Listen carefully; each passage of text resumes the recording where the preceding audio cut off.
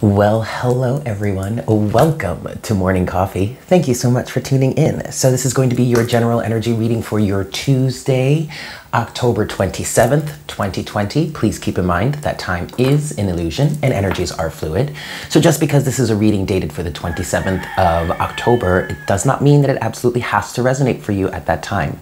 Whenever you are guided to watch this reading and it resonates, then that is the message for you in that moment. Also, keep in mind that this is a general reading, so please take what resonates and leave what doesn't. Yes, quick announcements. Um, uh, I don't know, in case you didn't see my post in the community tab on my page or on my channel, um, no weekly readings this week as I am using the schedule that I developed for the weekly readings to do the monthly love readings for Patreon. Yeah, Cancer is up. I did Cancer yesterday.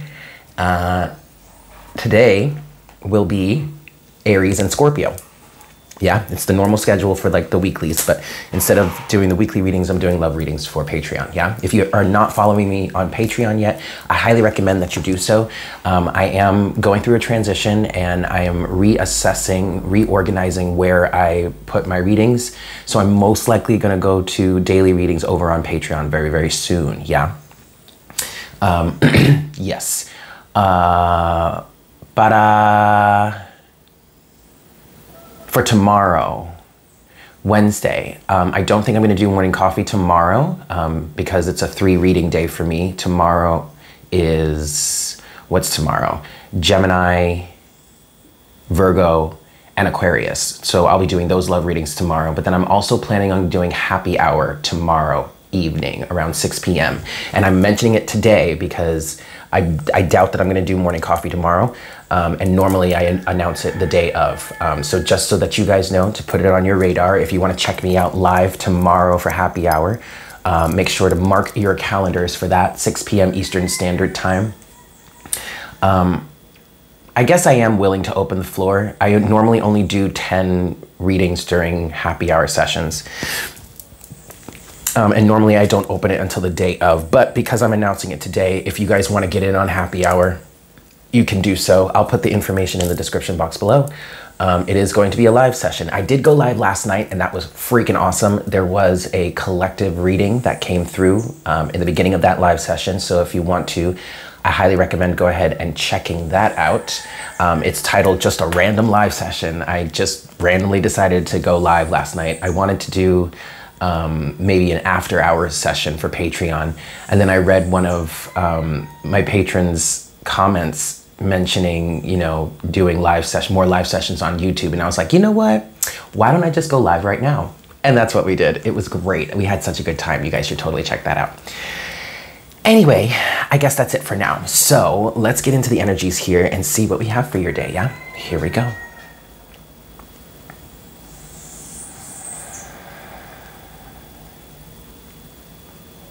Hi, Spirit. Please make me a clear channel for the collective at this time.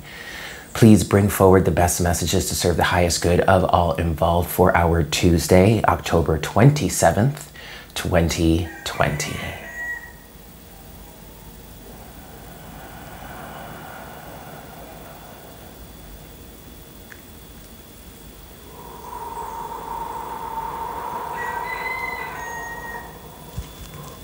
Thank you so much, Spirit. Alrighty, kids, here we go. Let's get into this here. I'm to give this five shuffles. What do I want to do? I'm to put this here. Let's give this five shuffles, and we'll see what we've got for your day. Yeah? One.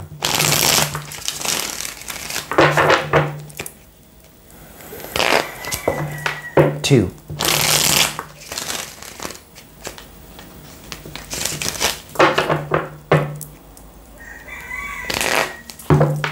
Three.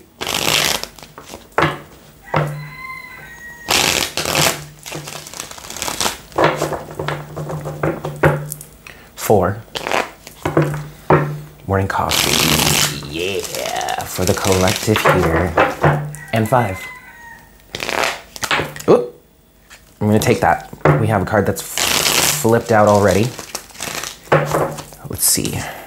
The Nine of Cups. Okay, happiness, contentment, safety, security.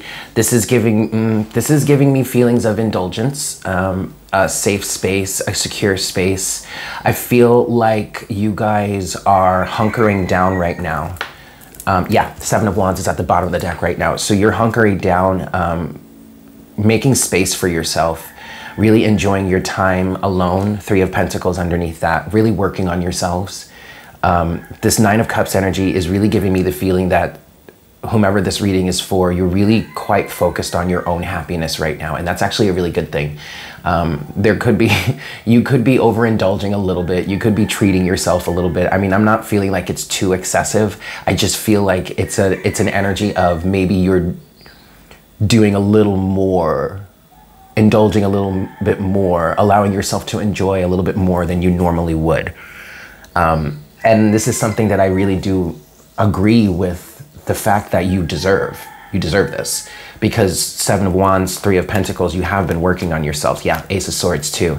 Um, there could be even some revelations that you're coming to, uh, understandings about yourself. And I feel like you are almost in an energy of rewarding yourself for the hard work that you've done, which is great. Let's see what else we've got here for you guys.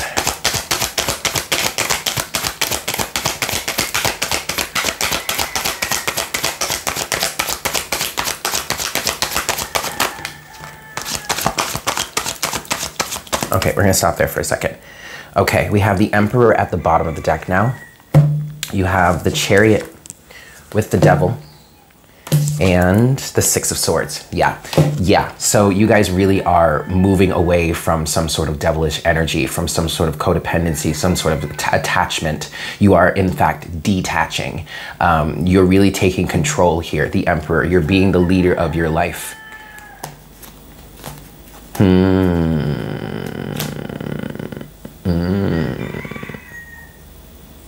There's a decision being made by somebody here.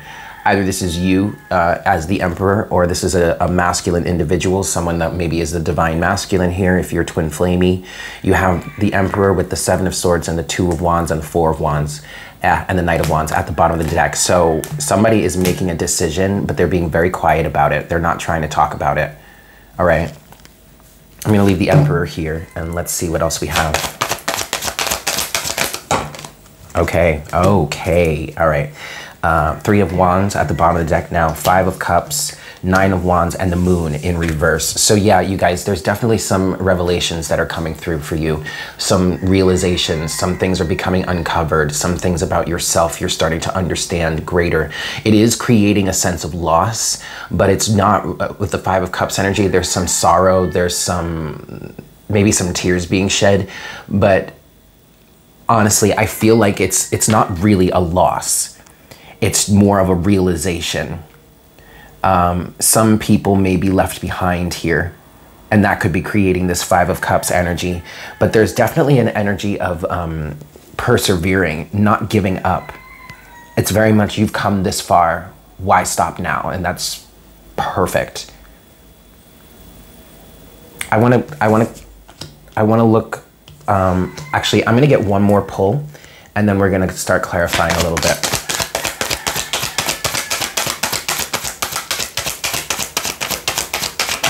The Magician. Lots of major arcana here. Okay, we're gonna stop there. Wow, so much major arcana. Look at that. The, the Hanged Man is at the bottom of the deck. You have the Magician here, and then you have the Queen of Cups here. Yeah, emotional realizations. There, there are some things that you're, I mean, some of you are really going very, very deep right now into yourselves, understanding who you are, understanding why you've been feeling the way that you've been feeling, recognizing traumas, um, uh, bringing awareness to your traumas and healing them, changing your perspective, changing your perspective for your life in the to, for the better. Okay. Also with the wow. Okay. Well, here we go. We've got the we've got the map. Oh. Okay. Well, the the Hanged Man, the Queen of Wands, the Empress. We have the Emperor and the Empress here. All right, and then the two. Wow. And then wow, you guys. And then the lovers, and now the King of Cups. So we have the Emperor and the Empress, we have the lovers, and we have the King and Queen of Cups. Uh, Yeah, Eight of Pentacles to the Tower, to the High Priestess. We'll stop there. Um, now, all of a sudden, we're getting into some sort of twin flame or divine partnership, divine union type energies. Um, uh, what I want to say is, and I, I, guess I say this all the time, but what I want to say is someone is recognizing or realizing who their true divine feminine, who their true count, feminine counterpart is. Um, and someone is really in the process of manifesting something brand new. Someone is making a choice for the better, for themselves, for their lives. And if this isn't romantic for you, this is really just balance and harmony and union within, which is allowing you to make some better choices for your life. Having come to a deep understanding of yourself, your emotions, your feelings, your traumas, and standing up in that Queen of Cups, King of Cups, being able to weather the storm, King of Cups, being emotionally mature, King of Cups.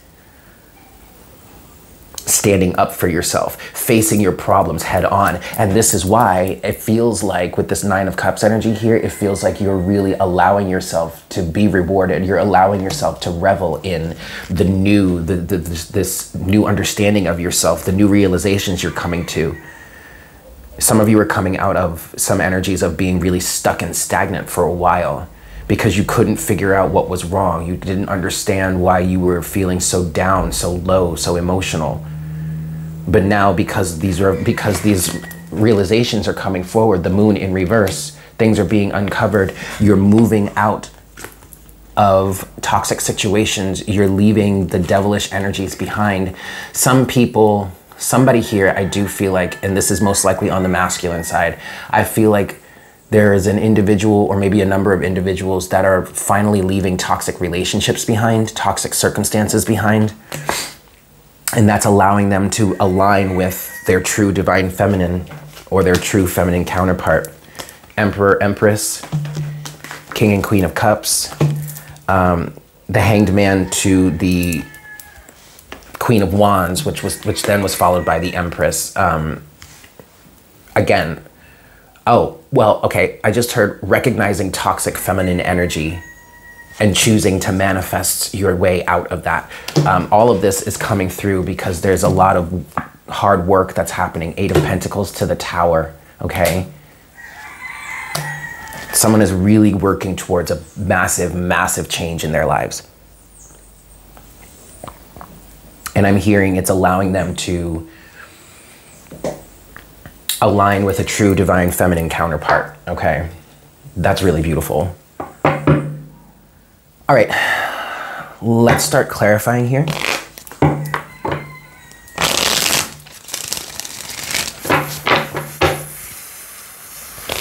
And I want to start with the Nine of Wands.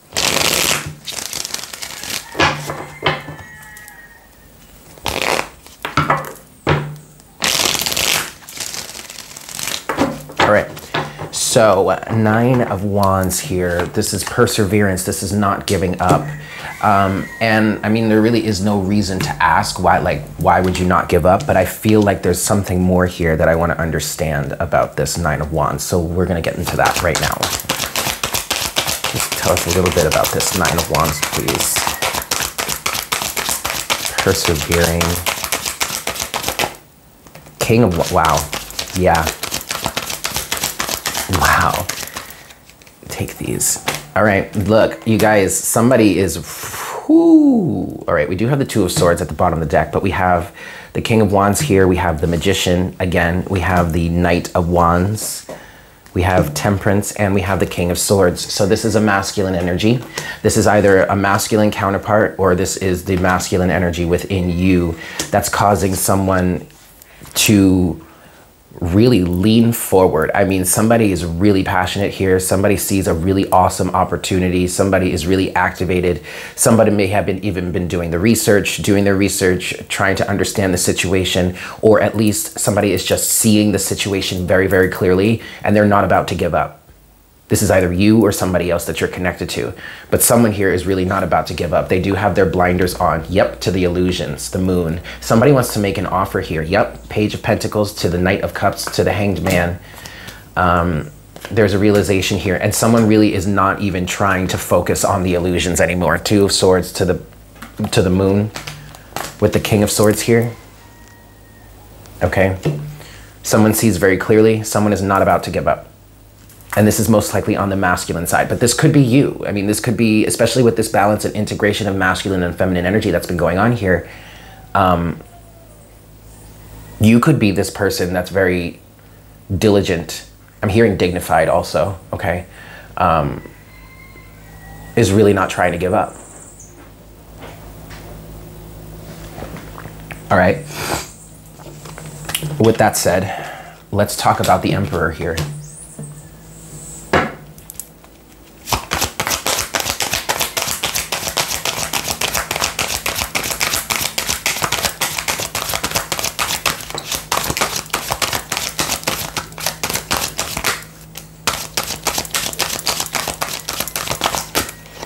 Yeah. Wow. Okay. Um,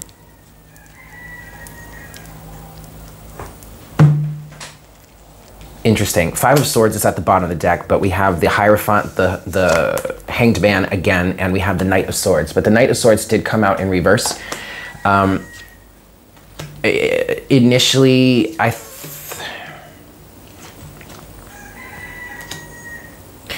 okay, so. Uh, there might be an energy of um, fighting against the establishment, fighting against the patriarchy. However, I feel like you guys, with this Knight of Swords that ended up coming out in reverse here, I feel like you're not fighting anymore. I think you really realize, somebody here really realizes the fact that it's really a losing battle. There's no reason to fight against this establishment or anything. Um, okay there's a change in perspective that has happened here on behalf of this masculine energy or this emperor.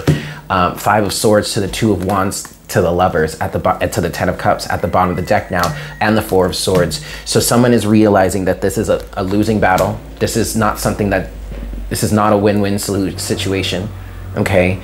Um, and someone is making ch- a choice for themselves two of wands to the lovers to the ten of cups. And i feel like somebody if this is resonating for love in love in a love sense for you, I feel like somebody is actually choosing true love now instead of fighting against tradition or uh, establishment or established circumstances. If this doesn't resonate in terms of love for you, then this resonates. This is probably has something to do with career, something to, to do with what you could make money from, or something to do with just whatever it is you truly love. Ten of Cups, what brings you some sort of uh, ultimate emotional fulfillment? Okay. And taking action towards that, but not taking action in a way that is combative. No, Knight of Swords is in reverse here, okay? All right, so let's look at it from the feminine side then, the Empress.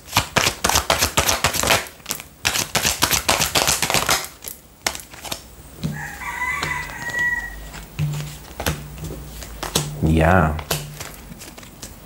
Yeah.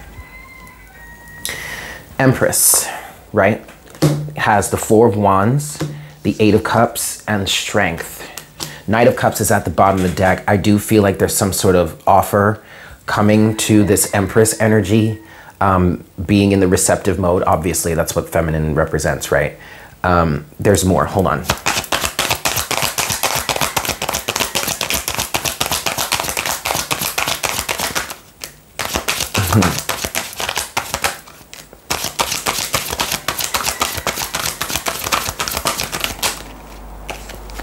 Okay. All right, the Ace of Wands. So someone really does want to make an offer to this Empress energy here. Okay. Um, but I don't feel, I, I feel like, uh, creo que uh, they feel inadequate in some way. You do have the Five of Pentacles. This also might be your energy. If you're the Empress here, you might be feeling a little inadequate, but that's an illusion. That's a lie, okay? Um, you have the Page of Swords also. So somebody is most likely, what I feel like is happening here is somebody is watching an Empress, a divine feminine individual, something like that, trying to figure out how how to be in a reciprocal relationship with them. They're trying to figure out how to what to make an offer to them. This empress is like this person's star. The masculine star. Their guiding light, their wish fulfillment, like their ultimate dream.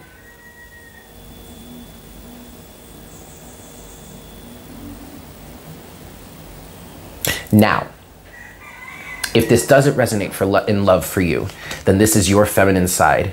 Okay, you're being you're you're very balanced in between masculine and feminine energy right now.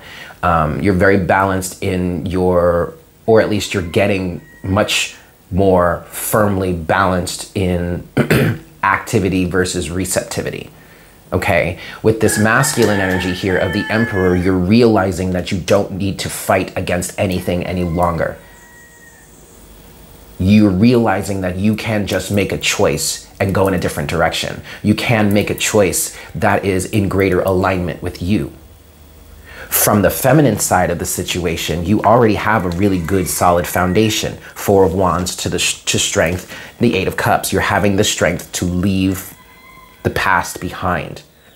Okay, you're following your intuition, the star. You're following your higher guidance. There is a little bit of fear here there is a little, a, a small sense of feeling inadequate, but I feel like this is coming through for you because this is a very new thing.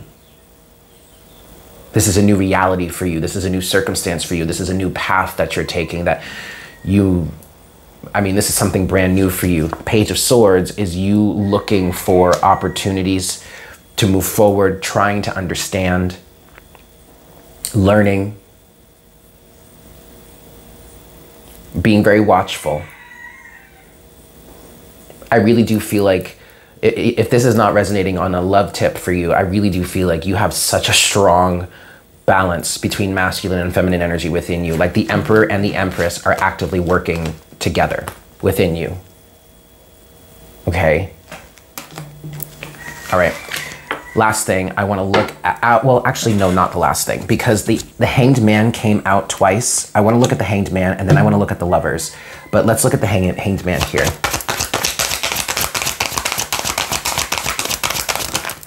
Eight of Pentacles, yeah, okay. I mean, that's pretty self-explanatory. You've been doing the work.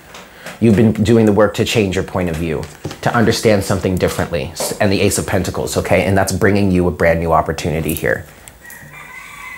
This is awesome, you guys.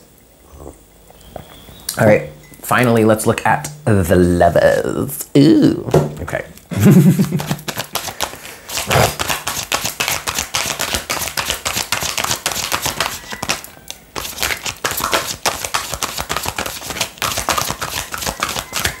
okay. We have the world, the three of pent, the three of swords, and the queen of wands yet again with the six of cups. So what is happening here? Uh, this specifically, I feel like, is for the divine feminine. Um, those of us that resonate more with the fem- with feminine energy than masculine energy, even though we all have both. Okay, fine. Um, you've put an end to the heartbreak. Three of Swords and the world. You put an end to the heartbreak and you're getting into direct alignment with what it is you truly want. This has a lot to do with the divine feminine walking away from the divine masculine in certain aspects. Um, I mean, many of you have been following me this whole time, so you know this narrative, but I'll, I'll do a slight recap. Um, there has been an energy of individuals that resonate with the divine feminine side of the twin flame situation finally decided, finally said, tengo que salir, I need to go. That's it, I gotta go, bye. And is choosing herself um, is choosing to align with herself, is taking, literally, very quite literally, taking back her right to free will. Because these situations with the with the twin flame dynamic have just been so fucking toxic, you know, and the divine feminine, and it's crazy because I used to get this message from my guides all the time when I was back in Brooklyn and I was in the heat of my own twin flame experience and my guides, this one masculine guide, kept saying to me, You're making the same mistakes over and over again. And I never understood what that meant until I finally I finally got the cojones. I finally got the balls to say, fuck you, I'm out of here. I don't care if I ever see you again. I'm quite literally not trying to ever see you again. But if the universe lines us up together and if it works out that way, then so be it. But as of right now, I'm out of here, right? And then I moved to Puerto Rico. And that's when I finally understood what my guides were saying to me. I was making the same mistake over and over again because I kept letting the divine masculine back in under those circumstances. And those circumstances were toxic. And that's that's that's why we have such a massive thing around twin flames right now because we're all if you're really truly resonating with the twin flame dynamic, it's about cleaning up the karmic energies. I know a lot of us, I think I heard somebody say this. It was who, uh, um, oh gosh, I don't watch her anymore, so now I forget her name. Sylvia with, um, she's a twin flame reader. Uh, gosh, Enchanted World of Twin Flames. I think it was her that said this. And when she said this, man, it struck such a chord with me. But I, but basically, it was that many of us would never have chosen to come back here if it weren't for this fucking karmic twin flame energy, right? I am definitely one of those people. Like I have grown, I, as I was growing up, man, when I was a kid, I was like, what the fuck am I doing here? Like, what is this shit? You know what I mean? But now that I'm, you know, I'm 33 now, and and uh, you know, I'm I'm really getting into my calling, and I understand now. But many of us would not have chosen to come back to Earth at this time if it weren't for I mean, if it weren't, I mean, it, heavily weighs upon the fact that we're dealing with this twin flame situation. But then on top of that, you know, there is a there is a mission to help raise the vib- vibration of the planet, and so all of this is tied in together, including the twin flame dynamic. As we heal and remove the toxic energies, we we let go of the toxic feminine or the toxic masculine, and we work on ourselves, and we grow, and we heal, and Spirit just said, and we align with divine counterparts, okay, other than the twin flame that was causing the, that was, you know, wrapped up in the toxic energy, or maybe even if it is that same person, but now they've done their healing as well. As we go through this process, we are healing the, the, wow, the universe is what I'm hearing. We're healing ourselves, we're healing the planet as a whole, we're healing and mending the karmic toxicity within, wrapped up within humanity and wrapped up within this twin flame dynamic. And so, okay, that makes sense, right? All right. But the lovers here, I say all that to say the lovers here is clarified by the Queen of Wands, the Three of Swords, and the World. Putting the heartbreak to rest, mending and healing our hearts so that we can get back on to our mission, so that we can get back to ourselves the choice is ours, the lovers. And then you do have the Six of Cups at the bottom of the deck, Queen of Pentacles also. Um, aligning with a divine counterpart that's truly, I'm hearing match made in heaven. But in order for that to happen, you have to know your worth. Queen of Pentacles, and that's that's such a big aspect of like what the divine feminine is putting forward right now. She knows her worth and she's not going to give her worth or give herself away to someone that just wants to keep tangoing with karmic toxic energies. Period. Done deal, done zola. Let's get some oracle guidance to close out our reading today. We're gonna do it. We're gonna get it from the Crystal Mandala deck. Yes. Okay. All right. Let's see what we've got to close out this reading today. I'm just going to give this three shuffles here. One,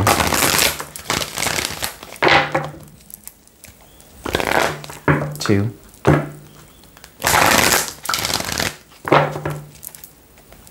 and three. All right, so closing message, please, Spirit.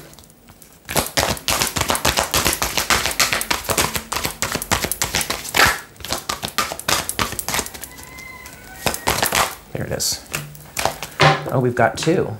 Okay. We have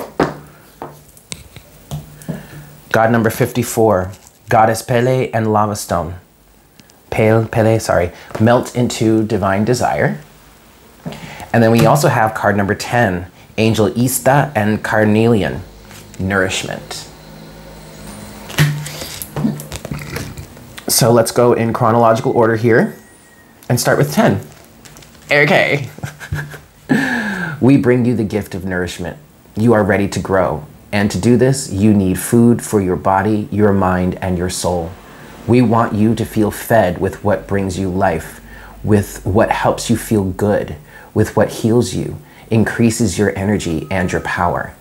We know that you need and want, I'm sorry, we know what you need and what can assist you to grow in mind, body, and spirit. We know that life can be a banquet for the soul.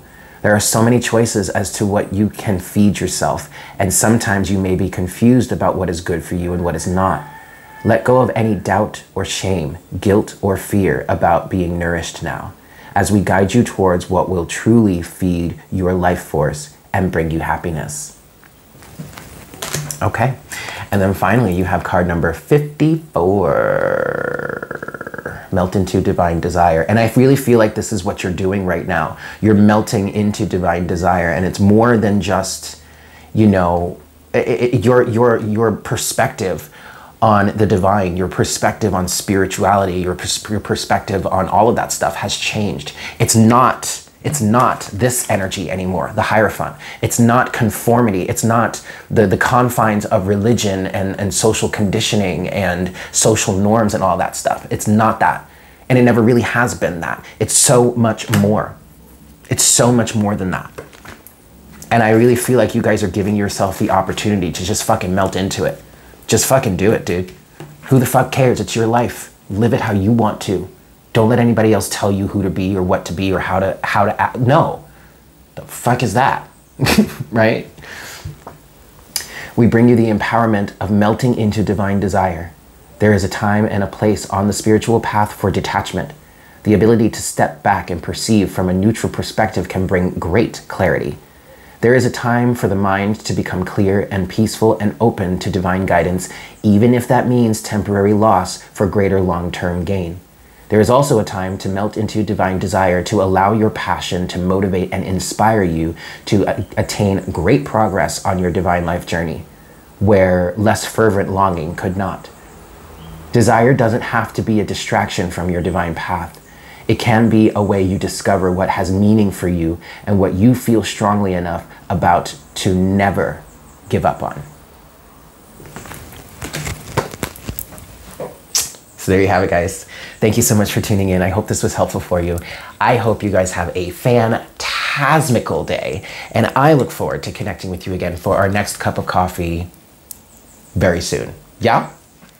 Take care. Mwah! Bye. Peace. Deuces.